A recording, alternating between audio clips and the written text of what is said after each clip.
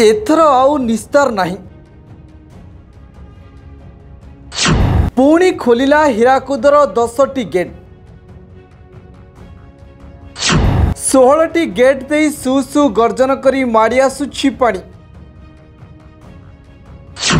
ବୁଡ଼ିବ କି ଓଡ଼ିଶା?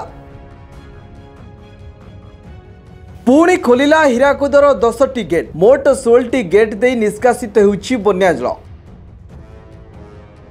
ବାମ ପାର୍ଶ୍ୱର ଦଶଟି ଏବଂ ଡାହାଣ ପାର୍ଶ୍ୱର ଛଅଟି ଗେଟ୍ ଦେଇ ସୁ ସୁ ଗର୍ଜନ କରି ମାଡ଼ି ଆସୁଛି ବର୍ଷା ପାଣି ଉପର ମୁଣ୍ଡରେ ପ୍ରବଳ ବର୍ଷା ଲାଗି ରହିଥିବାରୁ ଟଳମଳ ହେଉଛି ହୀରାକୁଦ ଭିତରେ ଜଳ।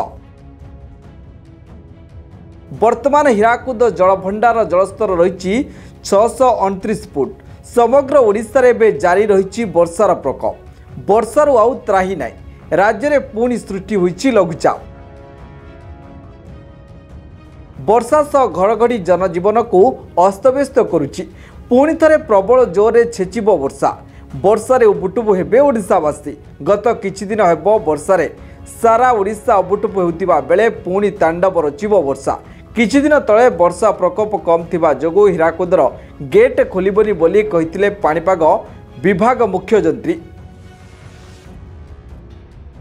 ହେଲେ ଯେଉଁ ଭୟ ଯୋଗୁଁ ଗେଟ୍ ବନ୍ଦ କରାଯାଇଥିଲା ଏବେ ପୁଣି ଥରେ ଫେରିଛି ସେହି ଭୟ।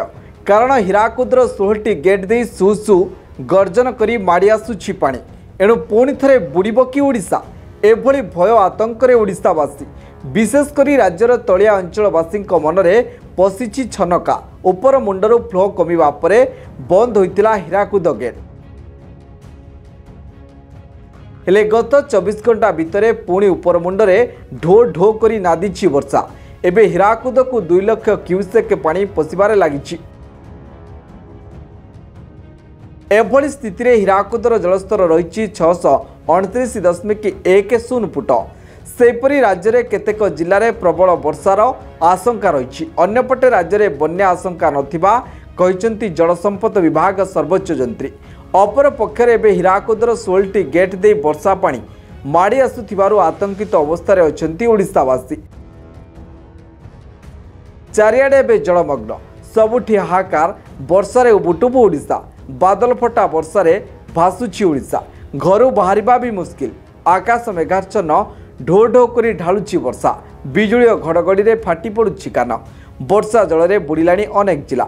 ଉଛୁଳିବାକୁ ବସିଲାଣି ଅନେକ ନଦୀ। ସେପଟେ ଫୁଲିବାକୁ ଲାଗିଛି ହୀରାକୁଦ। ମହାନଦୀ ବି ବିପଦ ସଂକେତ ଟପିବା ଉପରେ। ହୀରାକୁଦ ବନ୍ଧ ଟଳମଳ ହେଉଥିବା ବେଳେ ପୁଣି ହୀରାକୁଦର ଷୋହଳଟି ଗେଟ୍ ଖୋଲିଥିବାରୁ ଏବେ ଭୟ ଓ ଆତଙ୍କରେ ଓଡ଼ିଶାବାସୀ। ପୂର୍ବରୁ ହୀରାକୁଦ ଗେଟ୍ ଖୋଲିଥିବା ବେଳେ ଚାରିଆଡ଼େ ହୋଇଯାଇଥିଲା ଜଳମଗ୍ନ। ଭାସିଥିଲା ଦକ୍ଷିଣ ଓଡ଼ିଶା। ଲୋକେ ଭୟରେ ଚିତ୍କାର କରିଥିଲେ ଆମକୁ ବଞ୍ଚାଅ ଆମକୁ ବଞ୍ଚାଅ ବୋଲି। କାରଣ ପୂର୍ବରୁ ପ୍ରବଳ ବର୍ଷା ଯୋଗୁଁ ଖୋଲିଥିଲା ହୀରାକୁଦର ଗୋଟି ଗୋଟି କରି ଖୋଲିଥିଲା ଛବିଶଟି ଗେଟ୍। ମହାନଦୀରେ ଉଛୁଳିଥିଲା ପାଣି ଯାହା ପାରୁଥିଲା ଭସାଇ ନେଇଯାଉଥିଲା। ଗାଁଠୁ ସହର ଓ ରାସ୍ତାଘାଟ ସବୁଠି ଲହଡ଼ି ଭାଙ୍ଗୁଛି ବନ୍ୟା ପାଣି ସହ। ବର୍ଷା ଜଳ ଭୟରେ ଚିତ୍କାର କରୁଛନ୍ତି ଓଡ଼ିଶାବାସୀ। ଏବେ ପୁଣି ଘୋ ଘୋ ଗର୍ଜନ କରି ଛୁଟି ଆସୁଛି ହୀରାକୁଦର ପାଣି। ଏଣୁ ଏଥର ଆଉ ବଞ୍ଚିବା ମୁସ୍କିଲ ହୋଇପଡ଼ିବ। କ'ଣ କରିବୁ କିଏ ଆମକୁ ଏ ପାଣିରୁ ଉଦ୍ଧାର କରିବ?